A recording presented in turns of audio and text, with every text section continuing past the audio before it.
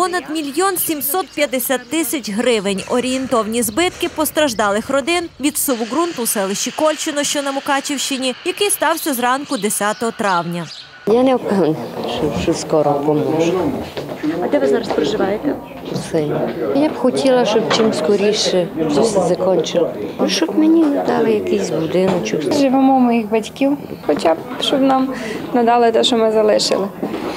Більше ну, ну, не треба лише то, то, що в нас було, нам доста було де жити, ти і все. Строїти ми це вже не потягнемо, просто вже фізично і морально. А я думаю, що ну, хоча б новобудову. У нас там дуже небезпечно. Там зрушився другий етаж із місця, стіна впала, і там вже, якщо чесно, вже і страшно знаходитися в тому районі. Перебувати та жити у зоні суву небезпечно. Це підтвердили фахівці Закарпатського гідрогеологічного центру Львівської геолого-розвідувальної експедиції. Сув техногенного походження. Він сформувався в масиві непридатних для промислового використання відвалів гірських порід. Останні накопичились на гірському схилі в результаті господарської діяльності підприємства з видобутку та переробці андезиту в якості сировини для виготовлення будівельного щебеню. Означеним підприємством на даний час володіє філія Кіровський спеціалізований кар'єр державного підприємства Закарпатський облавтодор. Існує загроза повторної активації СУВу. Саме для обговорення техногенної ситуації у селищі Кольчино та шляхів ліквідації наслідків суву зібралися депутати Кольчинської селищної ради на позачергову сесію. Проте долучилися й чиновники районного та обласного рівня.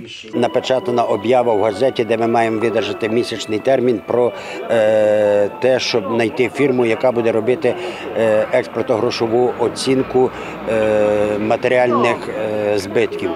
Е, тобто, я думаю, що ми 18 числа до кінця дня е, будемо мати вже, а 19 зранку будемо мати вже фірму, яка буде визначати ці збитки. За кошти селищної ради буде розроблена проектно-кошторисна документація для фінансування розгрузки суву та вивезення ґрунту. потребує компенсації саме з обласного бюджету, е, тому що ми, на жаль, ну, не потягнемо е, компенсацію. що на нашій черговій сесії, яка буде недав... е, згодом, е, звернутися до Кабінету міністрів для того, щоб ну, допомогти нам на цьому питанні. Знаєте, знімати вину із цих е, підприємців я би не хотів.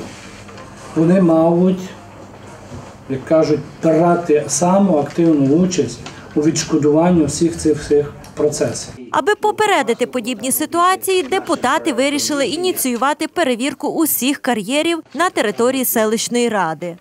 Є потерпілі люди, яким треба е, негайно надати і піти на зустріч і допомогти.